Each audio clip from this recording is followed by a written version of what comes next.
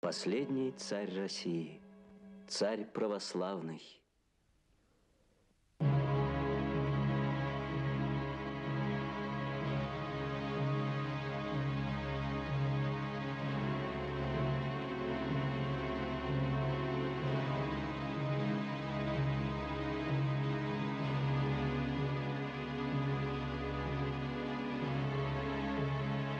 Император сам переносит святые мощи преподобного Серафима Саровского.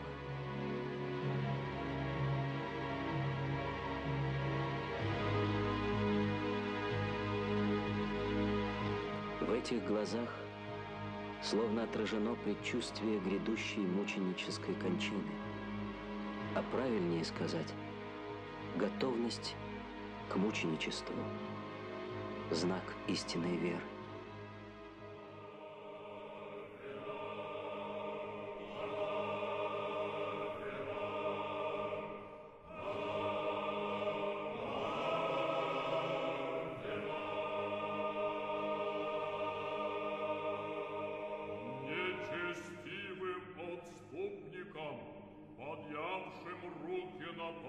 Времена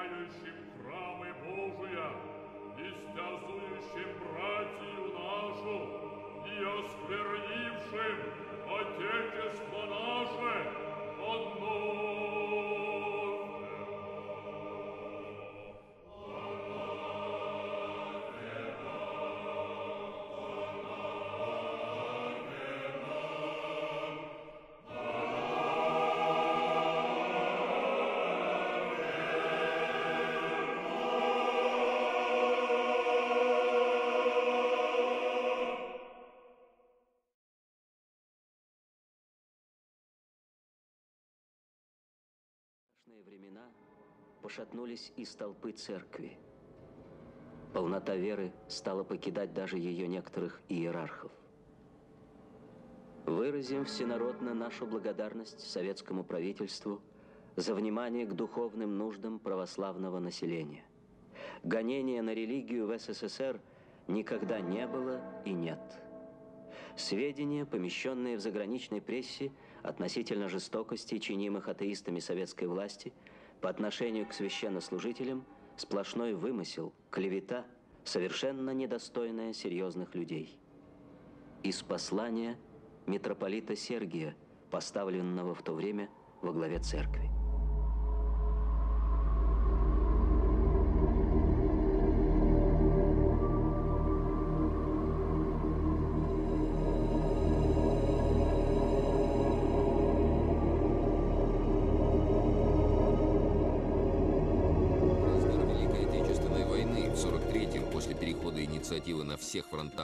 Красной Армии в Кремле происходит неожиданная для многих встреча главы безбожного государства Сталина с правящими, то есть действующими архиереями Русской Православной Церкви. Сергием Строгородским, Алексеем Симанским и Николаем Ярушевичем –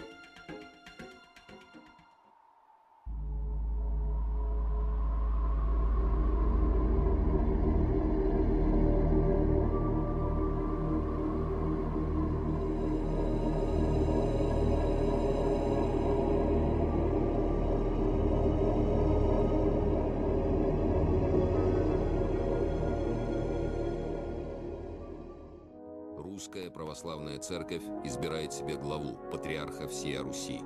Третий Рим снова становится реальностью. И Алексей Симанский, ставший патриархом, знает об этом. Его кандидатура одобрена лично Сталиным. Кого избираете вы с клиром и вашей паствой, патриархом московским и всея Руси?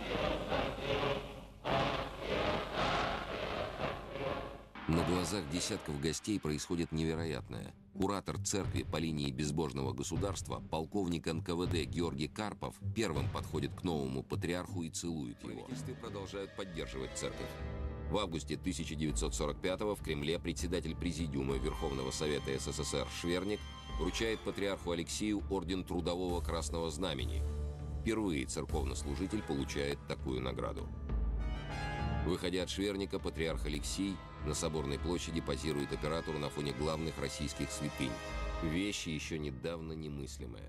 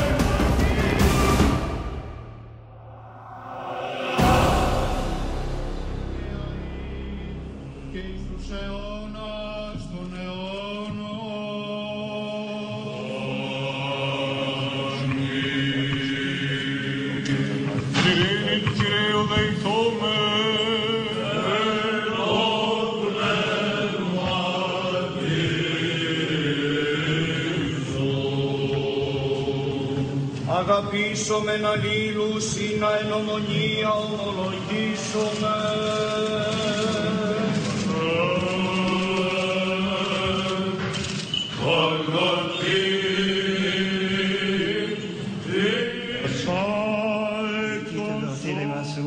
O Señor, no qui fidis quis. Vos omnipotens Deus, Pater et Φαντονιμόν.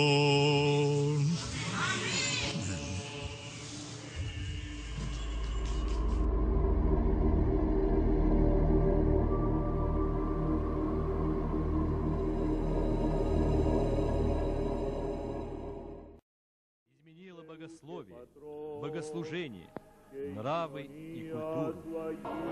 Разрыв с православным церковным преданием уничтожил евангельское учение, и это привело к уравниванию христианства со всеми религиями на свете. В Бостоне 28 октября патриарх посетил армянский храм святого Стефана и молился вместе с монофизитом Кафаликосом Киликийским Арамом I.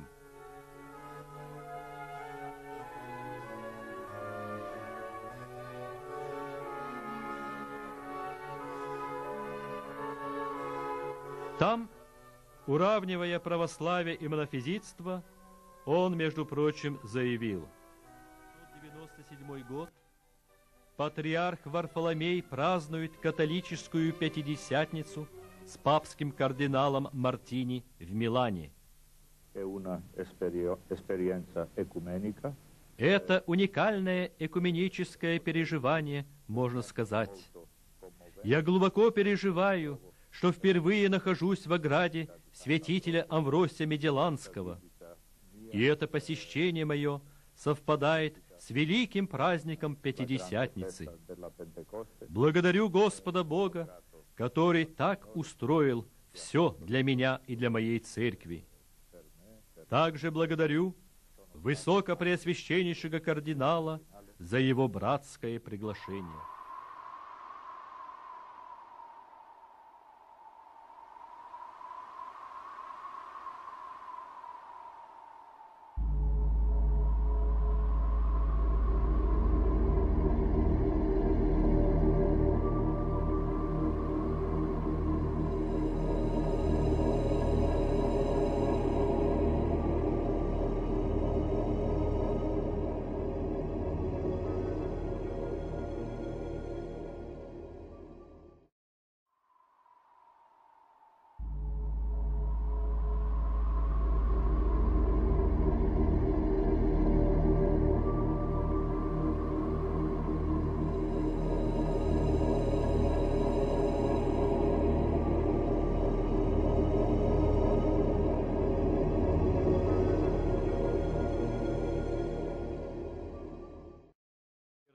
Конференция религии и мира.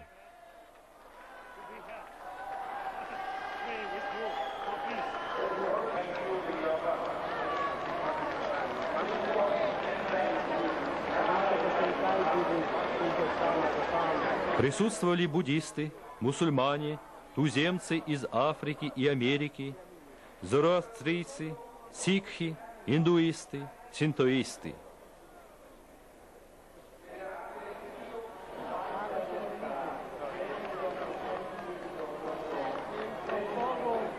Amigalia di voto is a country with religion from uh, Amerindian from America. What is a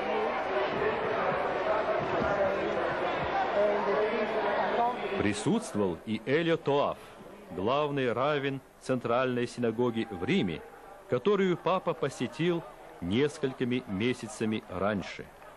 Были представители почти всех христианских исповеданий, Всемирный совет церквей, Несторьяне, антихалкидонцы, монофизиты, копты, армяне, малабарцы, римокатолики, старокатолики, англикане, лютеране. К несчастью, на этом общерелигиозном сборище было отделено видное место для православных экуменистов, которые даже активно и решительно участвовали в устроении его. Прибыли представители православных церквей Финляндии и Чехословакии, патриархатов болгарского,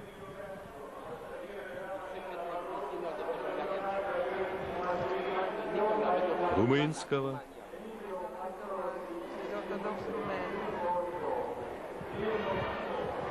грузинского,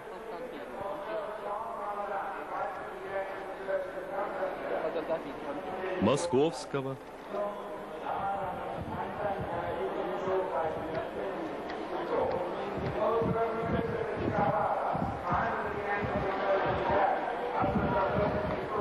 и антиохийского.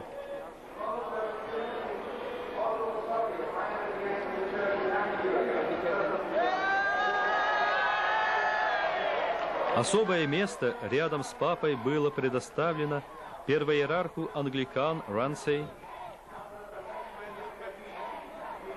и представителю Константинопольского патриархата Фиатирскому архиепископу Мефодию.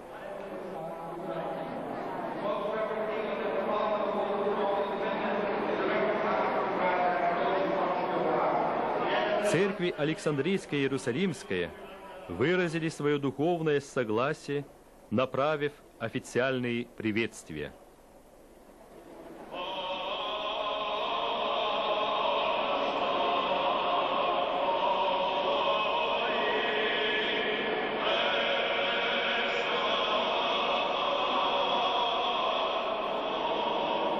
Пилатская церковь приняла молитвенное участие через известный византийский хор из Афин, который пел на всех трех главных собраниях в Асизе.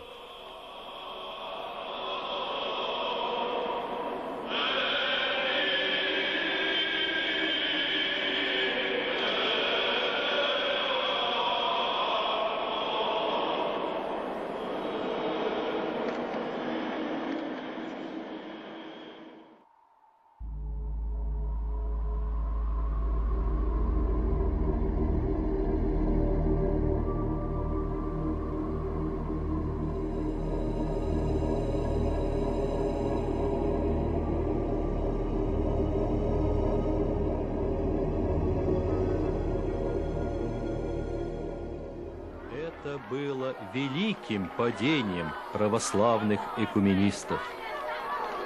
Они поставили себя наравне со всеми христианскими ересями и со всеми нехристианскими религиями.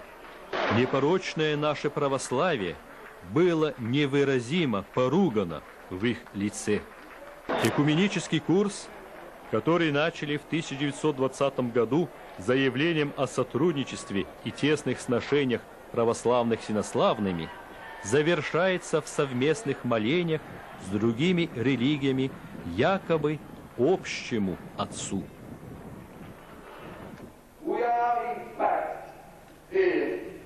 Мы действительно здесь, чтобы молиться, а не для чего другого, а именно, чтобы молиться.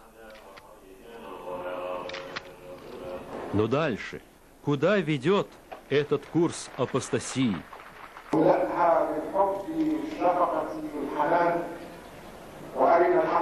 В Асизи было предложено создать Всемирную организацию религий по образцу Организации Объединенных Наций, которая будет влиять своей нравственной силой на вопросы мира и правды во всем мире.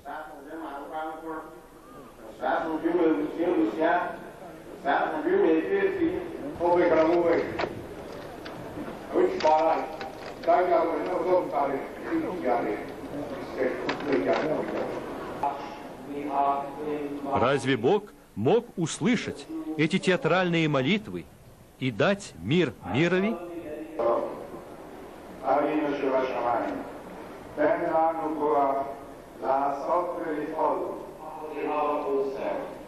Эту межрелигиозную молитву о мире, к несчастью, заключили христиане.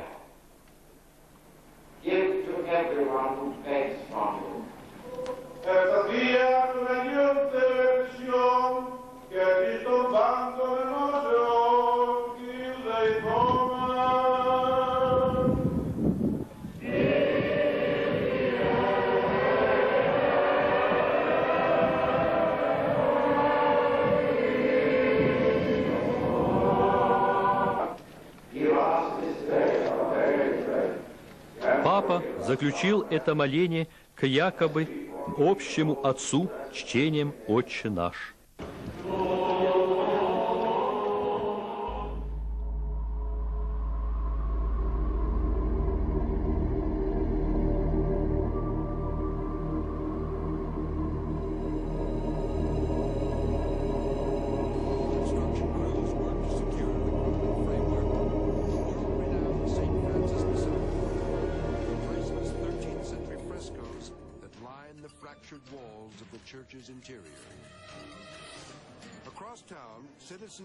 With rescue workers in an attempt to stabilize their most cherished landmark, a 600-year-old bell tower.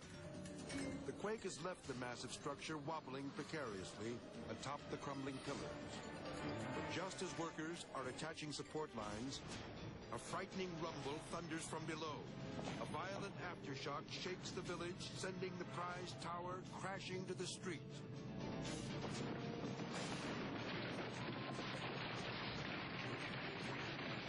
the basilica, the shock waves strike. Terrified workers race for the door as the ceiling begins to collapse.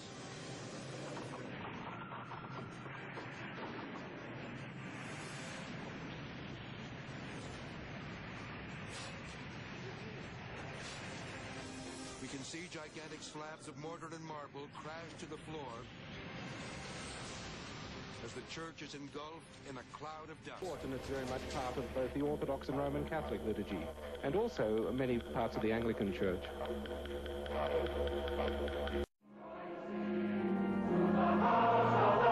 К сожалению, православные экуменисты стали органичными членами и этого совета –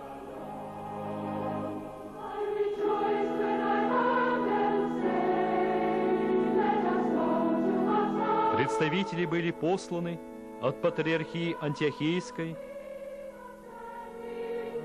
Румынской церкви и Вселенской патриархии. Представители 13 исповеданий должны были пройти через очистительный дым и быть приняты туземцами аборигенов. Мерзости продолжаются.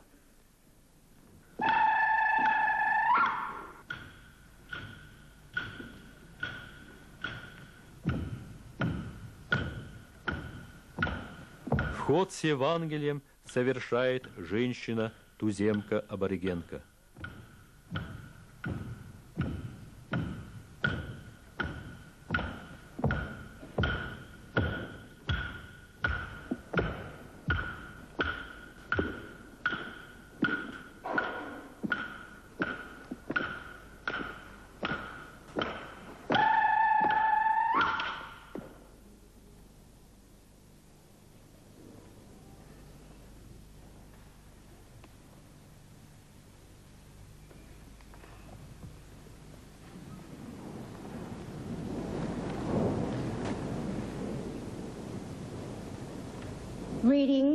From the Holy Gospel according to John. Как православные куминисты позволили себе участвовать в этих многократных падениях папистов?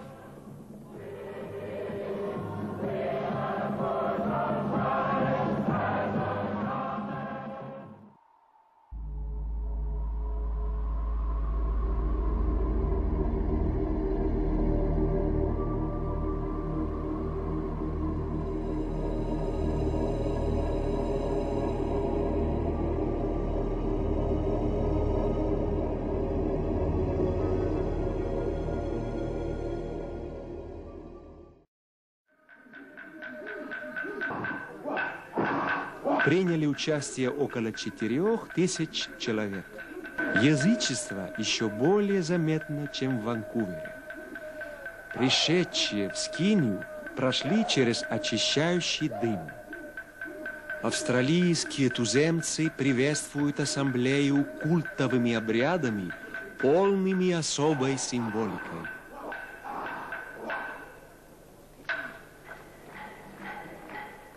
митрополит Мирский Хрисостом из Константинопольского патриархата и другие православные, к сожалению, опять принимают участие.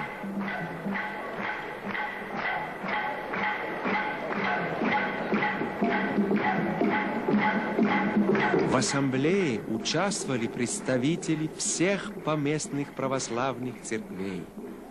Во главе делегации Константинопольского патриархата – составленная из 18 человек, был тогдашний митрополит Халкидонский, теперь патриарх Константинопольский Вартоломей. 12 человек представляли Элладскую церковь во главе с митрополитом Неапольским и Ставропольским Дионисием. Самая большая делегация, почти 40 человек, была послана Московской патриархией во главе с митрополитом Смоленским Кириллом. Некоторые называли это богослужением.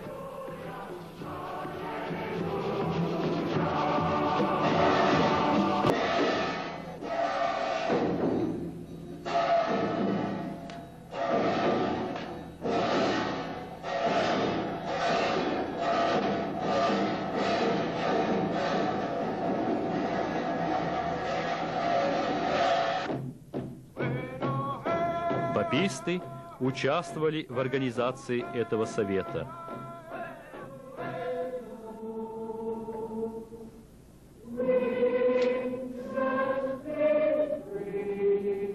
Амвон этого совета использовался не только для речи, но и для молитвы и обрядов разновидных групп и религий. Участвовали унитарияне,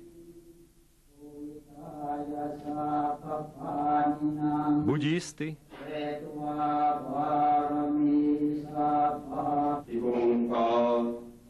сикхи,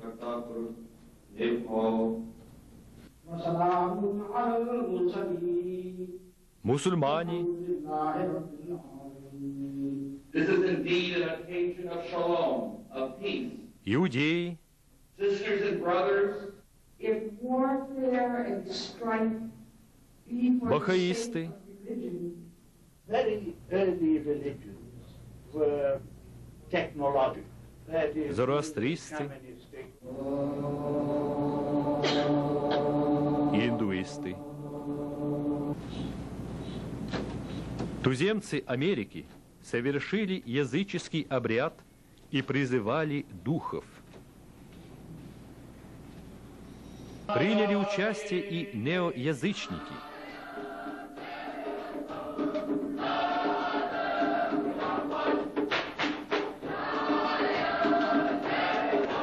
Все больше и больше людей ищут информацию, ее источники, чтобы собираться и учиться, как они смогут связаться с феминистской энергией, используя, подчеркнул главное, что объединяет все религии.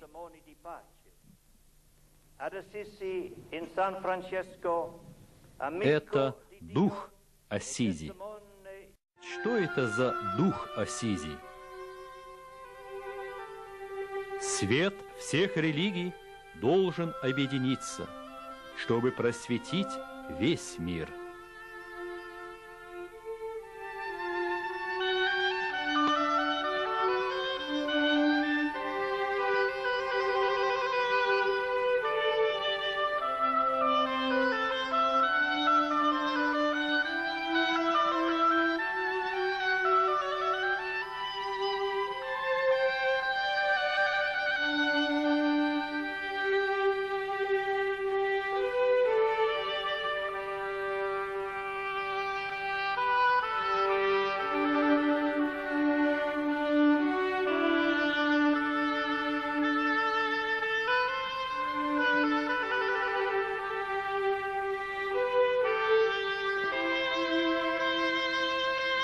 Какое место в таком синкретизме для единственного света мира, Господа нашего Иисуса Христа?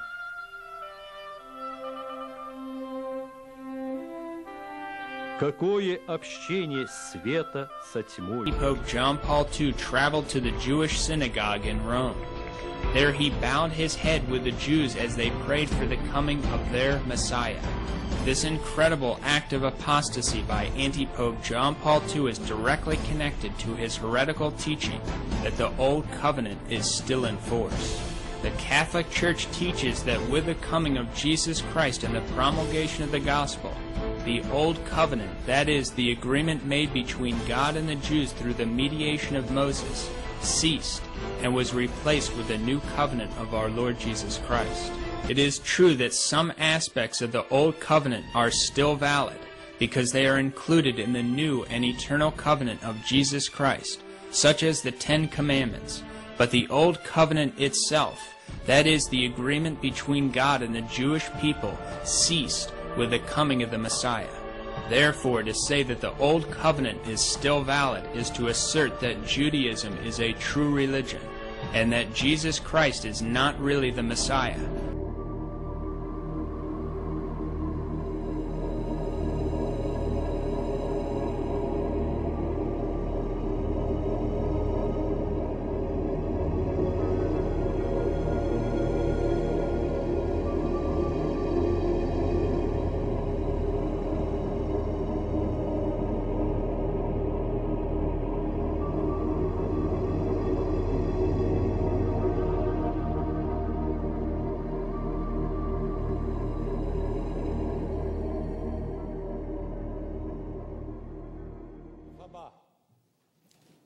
Welcome, Your Holiness. Or, in one word, Shalom. Shalom. Our visit here is more than simply a formality. It transcends a mere courteous visit of a Christian leader to a Jewish leader. We are going to visit our dearly beloved friend, Muhtar Kent, in Atlanta, the number, number one of Coca-Cola worldwide. He is a very good friend of ours. Let us hold our hands not only in prayer, but also in solidarity with one another. We owe it to our God, to our common patriarchs, Abraham, Isaac, and Jacob, to each other, and to the world.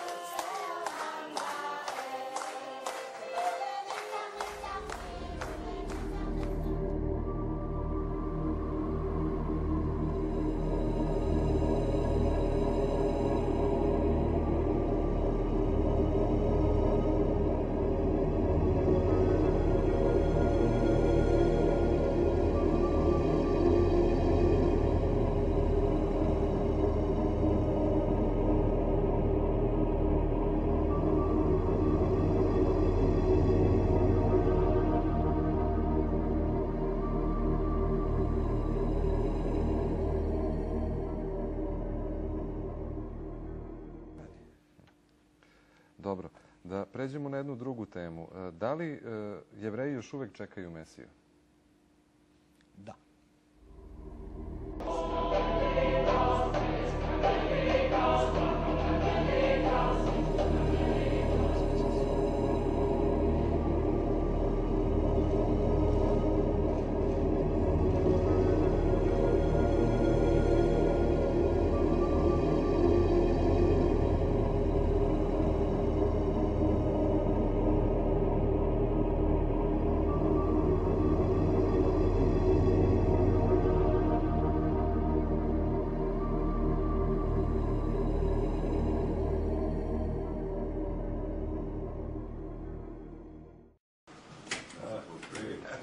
Πάτερ ημών, ο εν εις ουρανής, αγιαστήτω το όνομά σου, ελθέτω η βασιλεία σου, γεννηθήτω το θέλημά σου, ως εν ουρανό και επί της γης, των άρτων ημών των επιούσιων, δώσει μην σήμερα, και άφεση μην τα οφειλήματα ημών, ως και εμείς αφίεμεν τους οφειλέτες ημών, και μη εις εν έγκυση μας εις πειρασμών, αλλά λύσε ημάς από του πονηρού. Amém. Glória ao Pelo Ofício Santo Espírito. Amém. Amém.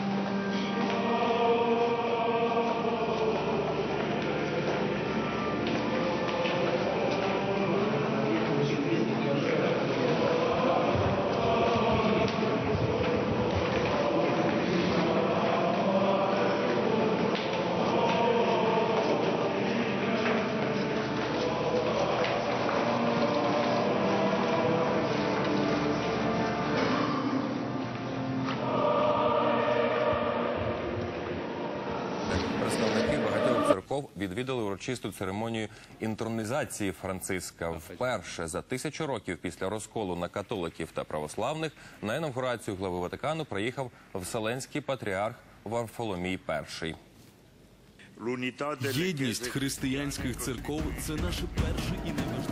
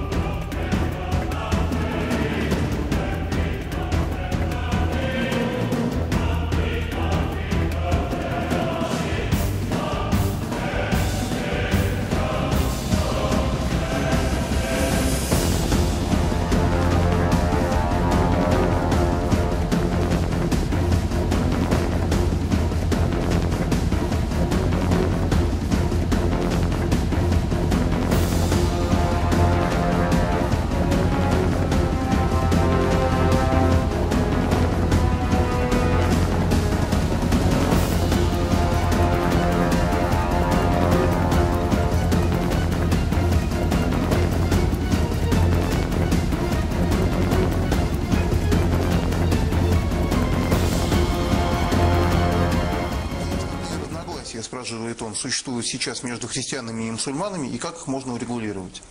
Но разногласия у нас очень существенные. Это прежде всего э, разница в понимании Бога. И христиане, и мусульмане верят в единого Бога. Мы верим в одного и того же Бога. Мы верим в одного и того же Бога. Мы верим в одного и того же Бога.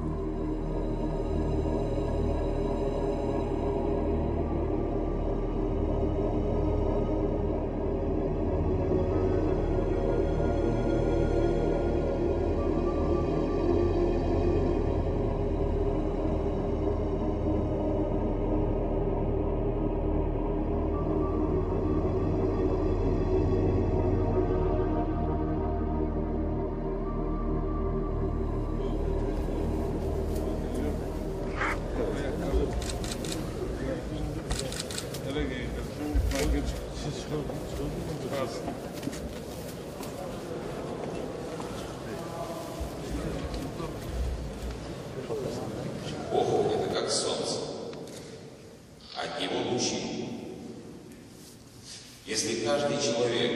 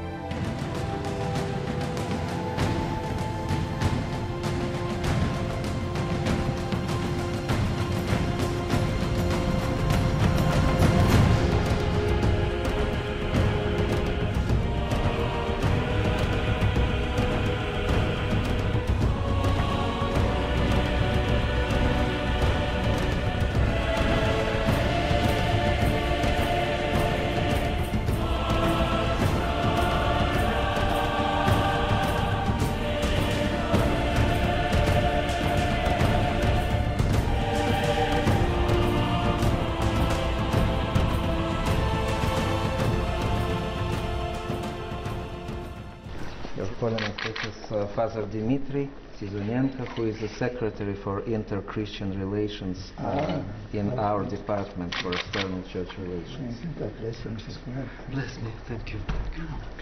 Father Anthony is the new Dean of St. Catherine's Church in Rome, Ah, and he was the personal secretary of Patriarch Kirill for four years. Some someday time it will be a great honor for us I if you can visit will us. find the time to see us. Thank, Thank you. Father Igor is serving in the same parish. He also arrived recently. He speaks many languages, including Italian.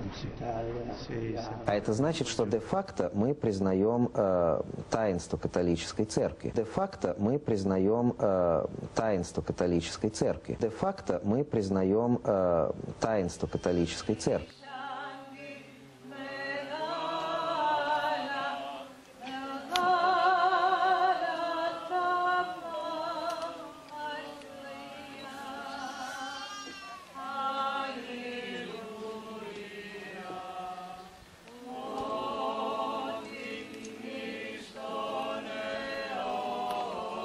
Oh.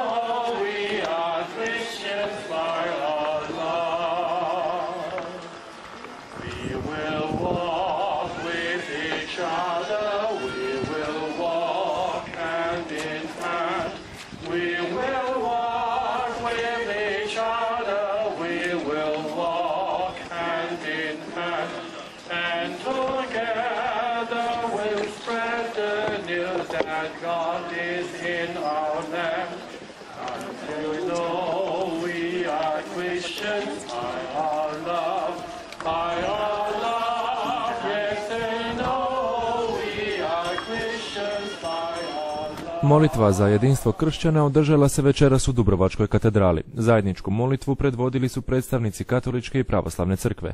Naime, od 18. do 25. siječnja se tradicionalno u Katoličkoj crkvi posvećuje molitvi za jedinstvo svih kršćana. Prisustvo velikog broja pravoslavnih i katoličkih sveštenika i vjernika. Večeras je u pravoslavnoj crkvi Svetog blagovještenja u Dubrovniku služen moleban za jedinstvo svih kršćana.